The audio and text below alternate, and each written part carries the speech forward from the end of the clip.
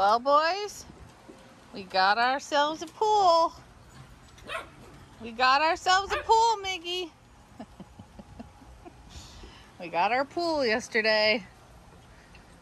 It's a Intex 10 foot by 30 inches tall pool.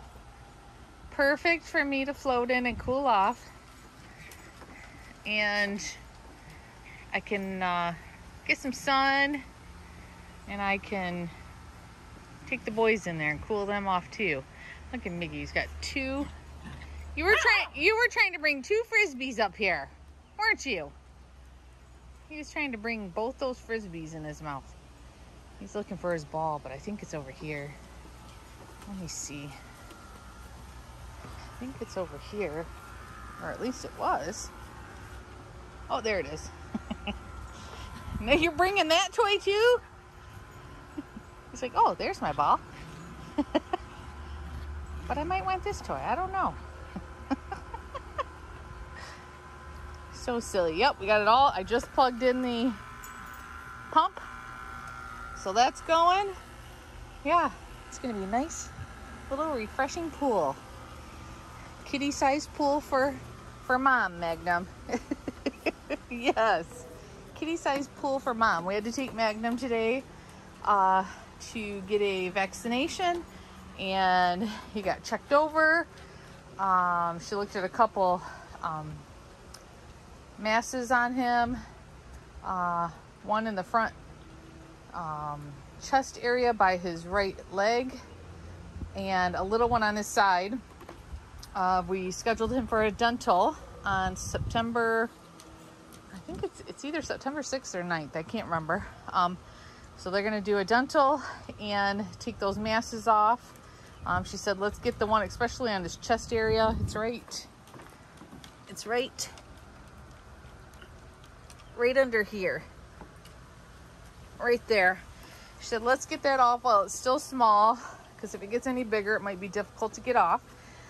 So, and then he has a little one right here. Um, and she thinks they're both just fatty cysts. So, we're gonna get those removed, get his teeth cleaned. Um, I made an appointment for Milo, who's out there under the pine tree, because uh, he's still, even with giving him the Apoquel and um, putting that mousse on his feet, he's still biting those feet terrible. Um, so we're gonna go get him checked Monday. He's got an appointment Monday. Get him checked to see if he's got a yeast infection going on again on those feet uh, or and if he doesn't, I think we're gonna switch him. Um, take him off the Apoquel and give him the Cytopoint injection, the shot for allergies, and see if maybe that will help him better than the Apoquel. Because some dogs I know that don't do good on Apoquel do good with the Cytopoint. Some dogs take the Cytopoint injection doesn't help them, but they take the Apoquel and it'll help them. So we're gonna try that out. She said she actually has a pit bull that she sees that actually takes the Apoquel and gets the Cytopoint injection. I said that'll probably be my dog. that'll probably be my dog. Let's walk out here to Milo. He's laying in the shade under the pine tree. Yeah, I said leave it to one of my dogs to probably need both because they're both expensive. Uh, I pay I think about $72 on auto ship on Chewy for the Apoquel a month.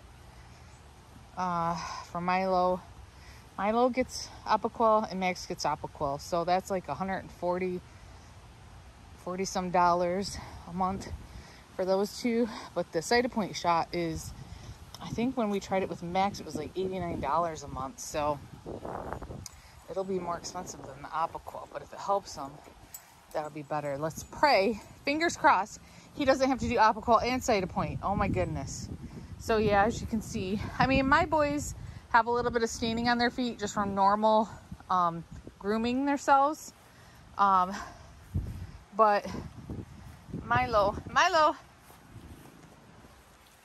Milo's really got some orange feet going on, front and back. So, gonna get him checked out. He could have another yeast infection. I don't know. because the moisture from licking them will cause yeast infection. So, yep, gonna get that checked out Monday. Yes, and then Mozzie has an appointment Monday um, to get blood work at the Animal Surgical Center. So he goes, I think it's like 8 or 8.15 in the morning to get his blood work done. And then I've got to take Milo around 11, I think 11 on Monday. So Monday morning will be filled with vet appointments. Yes, it will. All right, just wanted to do a quick video, show you the new pool. Um, I'm excited. Just gotta, it's cold right now. Just finished filling it up this morning. Um, so we've got to let it get uh, warmed up in there, um, which won't be a problem because it's going to be in the 80s for the foreseeable future. We will have to take it down though when they do our roof. We're scheduled to get our roof done. Uh, I think my husband said July 25th.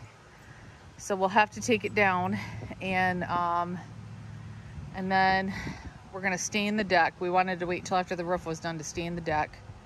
Stain the deck and then I'll make a decision if we put it back up after that. I might just wait till next summer. We'll have it up for a couple weeks to enjoy. I may put it back up. It depends on what the weather's doing after we get the roof done and seeing the deck.